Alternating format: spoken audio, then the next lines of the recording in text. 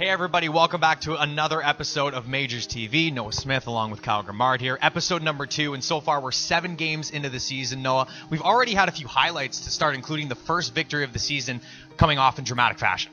Yeah, it was a marathon game as well. That game lasted over five hours and went into the wee hours of Saturday morning, actually, before Izzy Pena walked it off in the 12th inning. It was an exciting game as well, the entire game. So, more of that to come as well in the season. Definitely going to be an exciting year. Yeah, and you know what? They've already had a chance to play a lot of different teams. Welland for the first time making the trip up there was probably a good experience to get out. We've already seen some comeback ability from the team too, rallying, you know, to score four runs in the ninth inning. So we've already seen a, a lot of big moments from the team so far.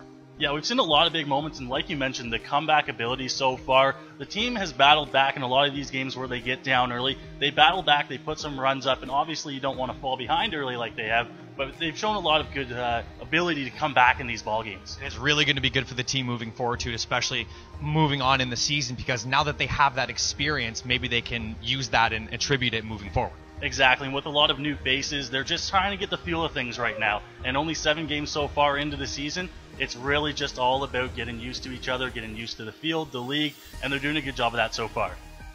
Yeah, and you know what, Noah, moving on to the players, you know, a lot of guys have really stepped up so far. Uh, Phil Thrapis has been a guy who's really come in and played well. He's batting over 300. He hit a big home run against Kitchener. He's got nine RBIs on the season. Uh, Evan Britt's another guy who's come in and done really well. Um, you know, talk about some of the other guys that have really stepped up this year. Yeah, on, on the mound specifically, Braden Farrington's been doing well so far out of the pen this year. He's also 16 Ks away from 100 in his career, so that's something we're going to watch as we move forward in this year. Aiden Hannon, he actually had the start on Sunday afternoon. He's actually been pitching well out of the pen though as well. He's one of those key guys out of the pen for the majors so far this year. Yeah, and you know what? A couple other guys that have really come into play. Kyle Gormandy is coming in and batting 417 so far this season. He had a big four for four day earlier on. And Byron Reichstein, of course, you know, comes in and is doing what he's doing. Uh, 333 average with a couple home runs and some big RBIs so far. So a lot of players really stepping up for the majors so far this season. We're going to look for that to continue moving forward.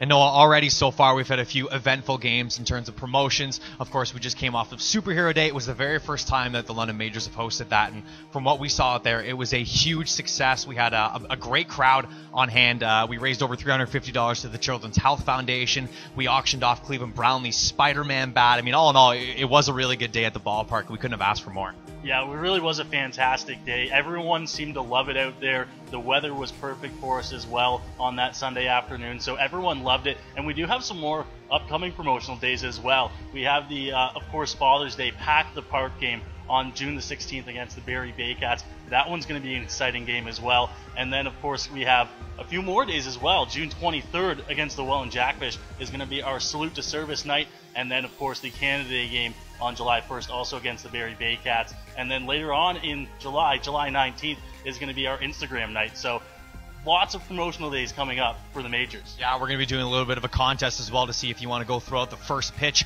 on July 19th during that game. We're going to be doing some stuff on social media, so make sure you guys check it out. Joined now by Majors pitcher Braden Farrington. Braden, how do you feel about the start so far for you guys this year? Uh, it's been a tough stretch of late, but you know we're always getting better every day, and you know it's going to continue in the future. And for you on the mound so far, it's been a pretty good start to the year. How are you feeling out there? I feel pretty good. You know, I prepared in the off season for this, and uh, it's going to be hopefully a good rest of the season for myself, just because I've put in the work. And finally, a lot of new faces on the team this year. How do you feel you guys are gelling through seven games? So far through seven games, you know, we've done pretty well. I think uh, everybody wants to come to the ballpark every day and get better. Even if we fail, we're still learning something, and we're all going to be improving. Awesome. Thank you, Braden. No problem. All right, and now we are joined by Ismael Pena. And Ismael, so far you're you're seven games into this season. Um, you know, what are some of the positives that you can take away so far? I will say um, we battled all the games. Like we came back. Like the first game, the first victory we had, we came back. It was a long game. The next day we traveled to Welland. We fought too and just fell short. But we got a good team, good chemistry, good, great guys, young guys, good talent here. Um, we got great fans too. They show up every Friday night. And just gotta move on, move forward. It's not how you. It's not how you start. It's how you finish. Yeah, that's exactly it. Now, the, the first win that you guys had, you, you walked it off in the 12th inning with that home run. I mean, go go through what was on your mind when you're stepping up to the plate because that was a long game. It was. It was. I was a 2-0 count and just looking for a fastball so I can drive it. And thank God I had a little bit of win and uh, with the victory to my team. And uh, of course, now you know your stats are, are really good, especially at the plate. You're batting over 400. You have a couple home runs already on the season. Does it almost help being a pitcher when you're at the plate, knowing some of the pitches that you're going to see? Yeah, of course. When you're a pitcher, you know which counts you got to throw uh, curveball, speed, whatever.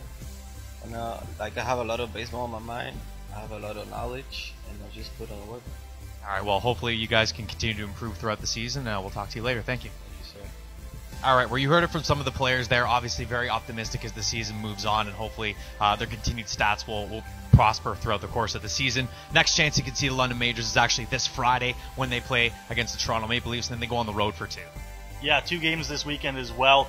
Guelph on Saturday, then Kitchener on Sunday. So Majors looking to get back into the win column, add to the win total this year. Yeah, and hopefully they can do that this weekend and maybe kick off a bit of a streak. And until then, we will talk to you next time right here on Majors TV.